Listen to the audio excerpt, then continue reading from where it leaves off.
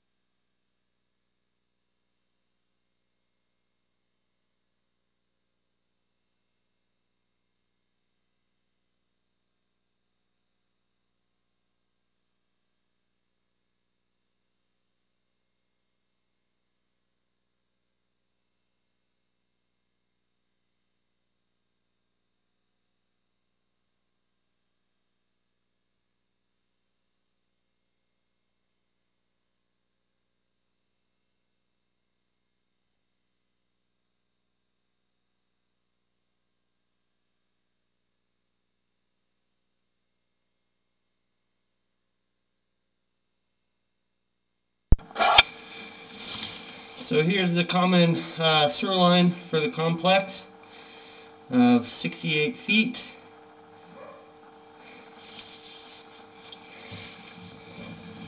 Three inch cast iron and clay pipe. We're going to stop the recording there.